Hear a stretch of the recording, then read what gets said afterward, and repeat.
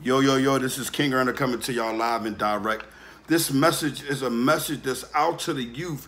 Every video that I give, every video that I speak on, any topic that I speak on is a prime example for the youth to either follow the positivity or not follow it. It's up to you to listen from the beginning to the end to get an understanding. Parents, pay close attention because what I'm doing is giving you a vision of your child's everyday life and you may not even know that your child even have this type of life.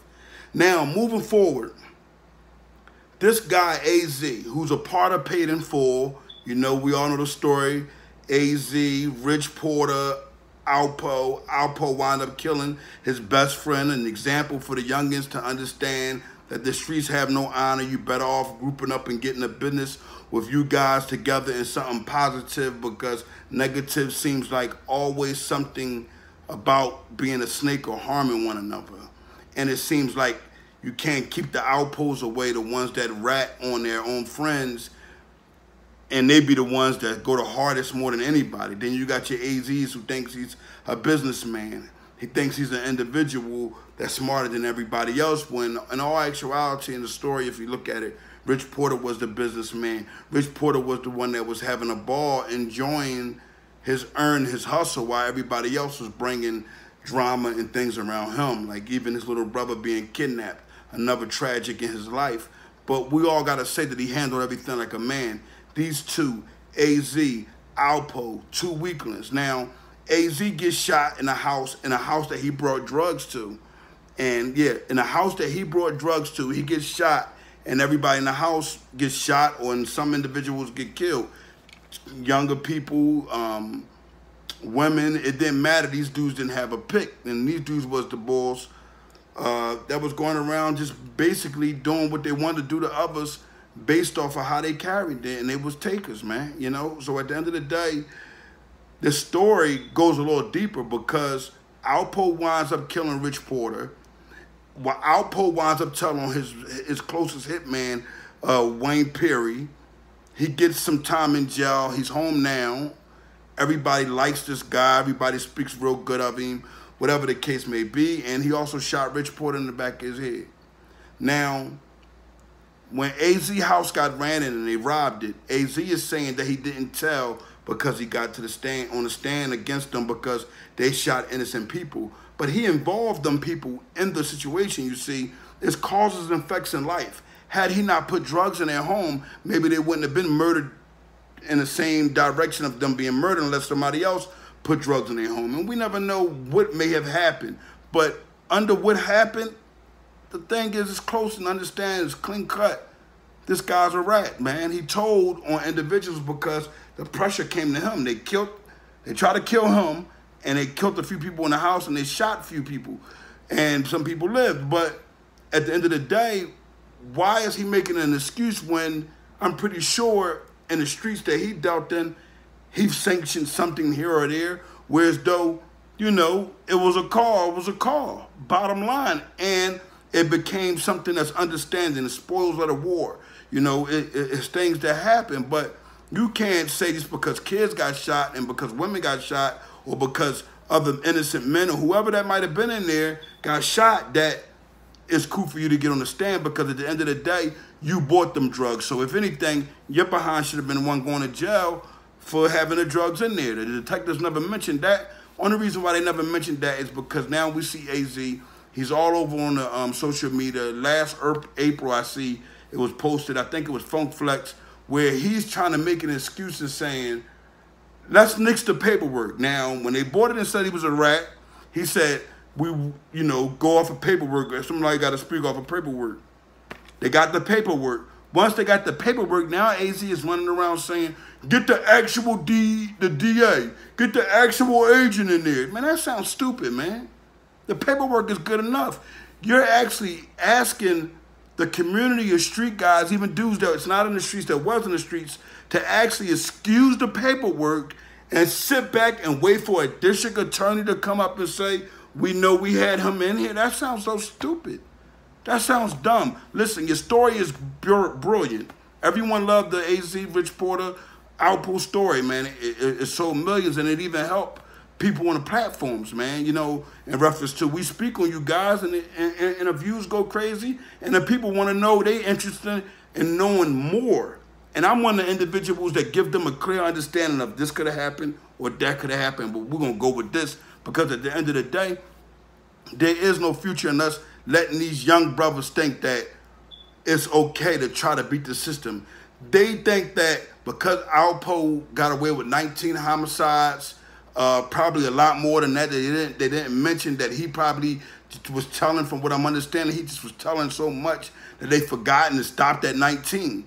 Now, this individual is the picture of kids thinking that they could kill somebody, sell all these drugs, do everything that Alpo done, and just because they tell, they can come home. Because that's what the government is honoring.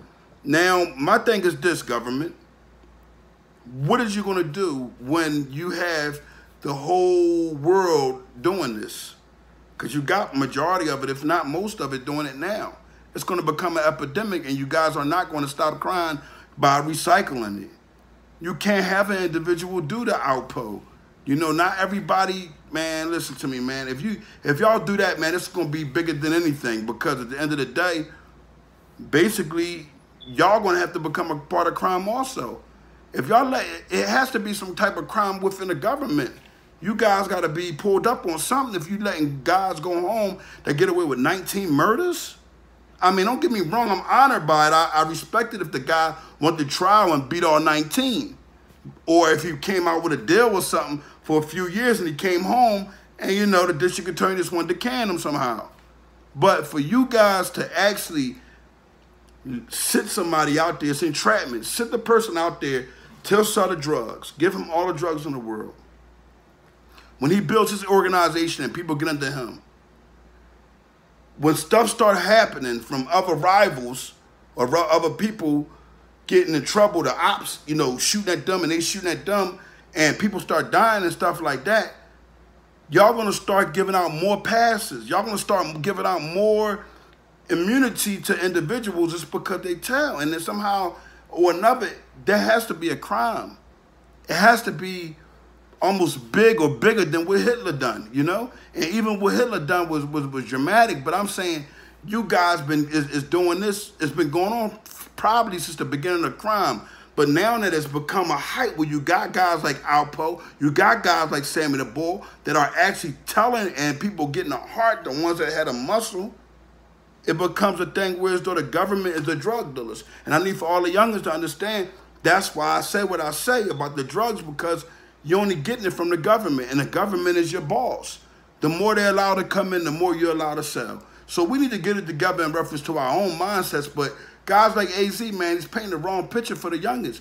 AZ, if you're gonna talk about black people and try to help us get to another level, you can't sit up there and lie to the children. You still you sit up here lying every day saying that you didn't tell when you did, man. You don't give them a vision of understanding. You're not giving them an opportunity to understand what telling mean. Do you know what telling mean? I mean, it's no, it's not no secret to. They came into the house, made you go to the safe, open it up, pistol whip you to death, shot everybody in the crib, right? Some lived, some didn't. And you told on it. It's clear and cut. You're a rat. Only thing I can say that's good about you, you're a very conservative rat you really like fall back and try to listen like you're the smartest individual in the world when you're not smart at all.